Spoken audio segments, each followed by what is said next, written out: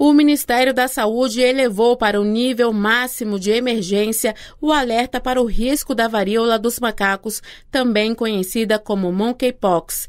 A classificação é para todo o território nacional e significa que a doença é considerada grave. De acordo com o Ministério da Saúde, a decisão veio após o aumento da capacidade de transmissão da doença, do agravamento dos casos confirmados, da vulnerabilidade da população e da indisponibilidade de medidas preventivas, como vacinas e possíveis tratamentos. Os níveis de emergência variam de 1 ao 3 e estão detalhados no Plano de Contingência Nacional para Monkeypox, publicado pelo Ministério da Saúde. O documento traz orientações para prevenção e tratamento tanto para a população quanto para as secretarias de saúde dos estados.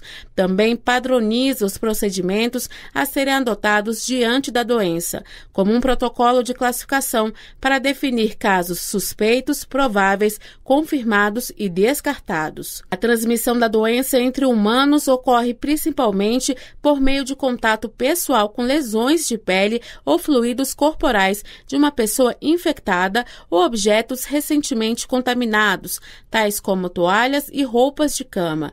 De acordo com o plano de contingência do governo, o tratamento dos casos é por meio de suporte clínico, como medicamentos para dor e cuidados de higiene na área afetada. A maioria dos casos apresenta sintomas leves e moderados.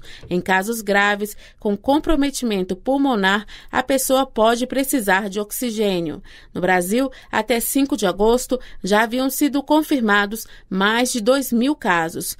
1.962 suspeitos e um óbito. São Paulo lidera o número de casos no país, com mais de 1.500 registros confirmados. Da Rádio Nacional em Brasília, Cariane Costa.